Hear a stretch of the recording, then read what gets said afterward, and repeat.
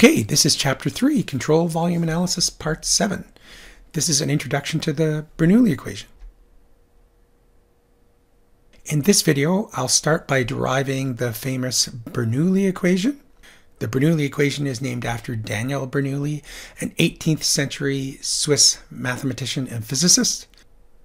As you'll see in subsequent lectures, Bernoulli's equation is a powerful mathematical tool for modeling steady, incompressible flows. Later in the course, we'll use the Bernoulli equation in various ways to measure flow rates in pipes. Bernoulli's equation can also be used to explain how airplane wings get their lift. But Bernoulli's equation does have some limitations, which I'll discuss at the end of the presentation. Then in the next video, which I'll link to at the end of this video, I'll do a very simple numerical example of using Bernoulli's equation to predict the discharge flow rate from an open tank. And then in later videos, we'll extend the Bernoulli equation to more complex problems. There are a few ways to derive Bernoulli's equation. Here I'm going to use an energy balance approach on a section of fluid. In this diagram, I've shown a one-dimensional flow in a tapered pipe or flow in what is called a stream tube, the three-dimensional equivalent of a streamline. The flow is from left to right, so from 1 to 2. The flow enters here at point 1 with cross-sectional area A1, velocity V1, pressure P1, and at some elevation relative to a reference of Z1. Flow gains elevation and exits at station 2 with a different velocity, pressure, and elevation. The assumptions in Bernoulli's equation are steady one-dimensional flow. So the velocity across the pipe or stream tube is constant at any point. Also, the flow is considered to be incompressible, so the density is constant even though the pressure changes throughout the flow. Also, Bernoulli's equation approximates the flow as frictionless, so the flow is assumed to have no viscosity. In fluid dynamics, this is called an inviscid flow. Recall that viscosity is like fluid friction, so this assumption is equivalent to saying that there are no energy losses as the flow goes from 1 to 2. Of course, all real fluids have viscosity, so Bernoulli's equation is restricted to those regions of the flow uh, that are nearly frictionless. I'll talk more about that assumption uh, later in this presentation, so I'll discuss the practical limitations after the derivation. So what we're considering here in this derivation is basically steady one-dimensional flow in a pipe. From continuity, which is conservation of mass, we have that the mass flow rate, m dot, is constant throughout the pipe. At any cross section, we have the same mass flow rate. m dot equals rho VA. And as we discussed, the flow is incompressible, so rho is constant, so the volume flow rate is also constant. The volume flow rate is constant at all cross sections in the pipe using the first law of thermodynamics, which is conservation of energy, for the control volume, we can write this expression. The rate of work done by the pressure forces at the inlet and outlet equals the rate of change of kinetic energy from the inlet to the outlet. So that's 1 half mv squared at the outlet minus 1 half mv squared at the inlet plus the rate of change of gravitational potential energy from the outlet to the inlet. So m dot gz2 minus m dot gz1. Recall that the flow is being approximated as frictionless. The flow has no viscosity, it's inviscid, so that means there's no shear stress on the wall, so the energy is conserved from 1 to 2. So equation one is just simple energy accounting. The rate of energy flow into the control volume equals the rate of energy flow out. Oh, and there's one other thing I wanted to highlight that this equation is a rate of energy flow, so we're using m dot, not m. So each term has the units of joules per seconds or watts. Here I've rewritten the energy balance equation 1 from the previous slide. Now we consider the flow moving a small distance in time increment delta t. In time increment delta t, the flow at the inlet moves a distance delta x1, and at the outlet it moves a distance delta x2. There is a pressure force at the inlet and outlet. This pressure force does work on the control volume. So now we need to evaluate the external work done by those pressure forces at the inlet and outlet. Recall that work is force acting through a distance, so F times delta x. And in a fluid flow, the force is the pressure times the cross-sectional area. So our work is the pressure times the cross-sectional area times the displacement. But in this case, we have a flowing fluid. So it's not the work that we're after, it's the rate of work. It's work dot that we want. So that's the force times distance per unit time. Distance per unit time is velocity. So our rate of work is the pressure force times uh, the local velocity, which is pressure times area times the local velocity. We can further simplify this, noting that the cross-sectional area times the local velocity is the volume flow rate, which is a constant. So the rate of work done by the pressure force is just the local pressure times the volume flow rate. Now it can express the rate of work done by the external pressure forces at 1 and 2. The rate of work done by the external pressure forces is just the pressure at 1 times the flow rate minus the pressure at 2 times the volume flow rate. Note that the first term is positive because the pressure force and the displacement are in the same direction. So that's work done on the control volume. Whereas the second term here is negative because at the exit, the pressure force and the displacement are in opposite directions. So the pressure force at the outlet is actually removing energy from the control volume. Now we can substitute our external work in terms of the pressure forces and the flow rate back into equation one, and we get this expression.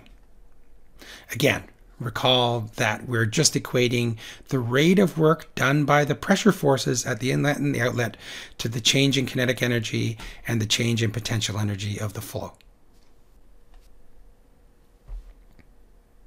So here again, I've written the energy balance at the top of the next slide, noting that the mass flow rate is rho VA and velocity times cross-sectional area is our flow rate we can get that m dot equals rho q. And now what I'm going to do is I'm going to make the substitution for rho q in for m dot in this equation in the four locations. And this is what I've done here. I've just made that simple substitution for rho q for m dot. Now we can notice that every term in this equation has a q, has the volume flow rate. So we can cancel the volume flow rate and so next what I've done is I've divided by density and I've done some rearranging. You'll notice, and you can check my algebra here, I've put all the terms involving the inlet conditions on the left-hand side and all of the terms involving the outlet conditions at 2 on the right-hand side. And this is the final result. This is the famous Bernoulli equation. We're going to use this equation widely in the remainder of chapter 3. As you saw from the derivation, Bernoulli's equation can be interpreted as an energy balance along a streamline. Here I've rewritten Bernoulli's equation. Remember that this is an idealized frictionless flow, so there's no energy loss caused by viscous effects. Viscosity is like friction that burns up energy in the flow, but we're neglecting that effect. So the total energy in the flow remains constant. There are three types of energy in the flow at a given point. The first is kinetic energy. Now recall that kinetic energy is 1 half mv squared. There's no m here, so this is kinetic energy per unit mass of the flow. The second term is usually called flow work or pressure work. It's the energy associated with pressure per unit mass. And the last term here is the potential energy term. Remember that potential energy is the weight force through a height. So this is the potential energy per unit mass of the flow. When you add up these three terms, you get the total energy per unit mass at point one at the inlet. And recall that there's no energy being dissipated by viscosity. It's a frictionless flow, so that equals the total energy at 2 on the right-hand side, which equals a constant for the flow. This means that if the flow speeds up and the kinetic energy increases, that must have come at the expense of either flow work or potential energy. The pressure must have decreased or the elevation of the flow must have gone down. We'll talk about this more in subsequent examples. Next, I'd like to introduce you to a common term in fluid mechanics, the concept of head. If we divide the Bernoulli equation by g, we get this form of the Bernoulli equation. In this form, you'll see that the potential energy term here, because we divided by g, is just z. It has units of meters. And recall from chapter one, the principle of dimensional homogeneity, that all the terms in this equation have the same units. So in this form, all the terms in the Bernoulli equation have units of distance. And in fluid mechanics, that's called head. That's why this slide is entitled The Fluid Mechanics Definition of Head. Now, the full units of head can be written as Newton meters per Newton. So you can see the Newtons cancel and you just end up with meters. So head can be thought of as the energy, Newton meters is a joule, per unit weight of fluid. Now each of the terms in Bernoulli's equation in this form have a special name. The kinetic energy term is called velocity head. The pressure term is called pressure head. And Z, of course, which is just the distance, is called elevation head or just simply head. As I'll show you in the next slide, it's important to get familiar with this terminology because it's widely used in the fluid mechanics industry. For example, if you go to purchase a pump, the manufacturer will assume that you know what head is. As an example, I Googled some pump specs and I came up with this company, Liberty Pumps.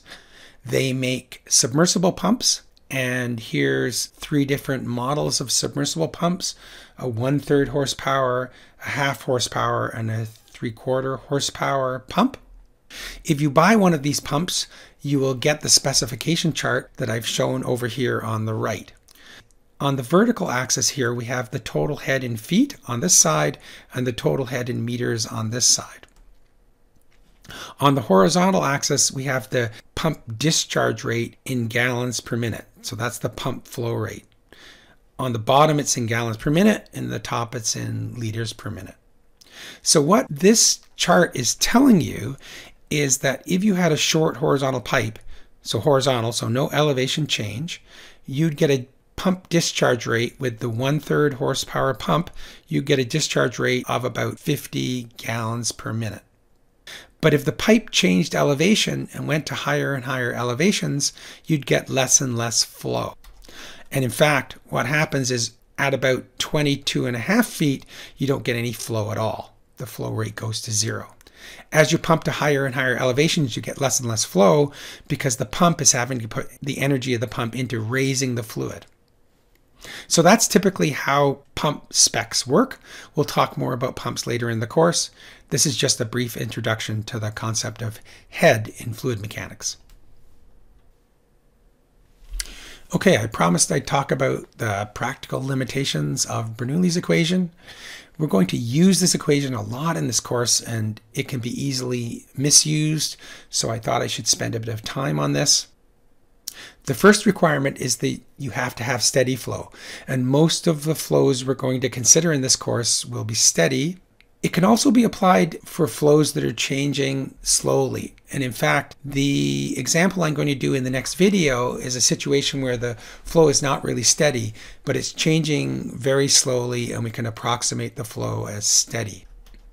As you saw in the derivation, we assumed that the flow was incompressible. So Bernoulli's equation is good for liquids, but it has to be used with some caution for gas flows where compressibility effects could be significant.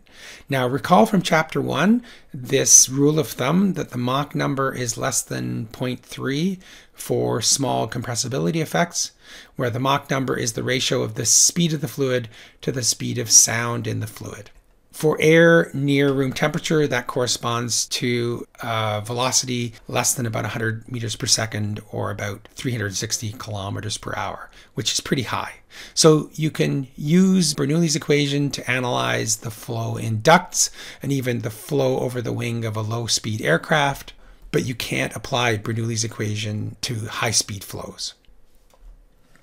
You also saw in the derivation that we assumed that uh, the flow is frictionless. We derived Bernoulli's equation neglecting viscous shear stresses. So you can't apply Bernoulli's equation where viscous effects dominate. And right at the solid wall, viscosity causes the fluid to come to a complete halt. Recall from chapter one that this is called the no slip condition. So you certainly can't apply Bernoulli's equation at the wall. For the same reason, you can't apply Bernoulli's equation in regions of intense mixing, where you have lots of energy loss because of flow turbulence. So if you throttle flow across a valve, and by throttling I mean you drop the pressure by partially closing the valve, you won't be able to apply Bernoulli's equation across the valve as I've shown here. That's because the energy in the flow is not a constant. There'll be energy losses associated with the valve. As you saw in the derivation, Bernoulli's equation applies to flow along a streamline, and you'll see that when I do numerical examples, I always draw a streamline to remind myself of that limitation. In addition, you saw in the derivation that the total energy in the flow at 1 equals the total energy in the flow at 2.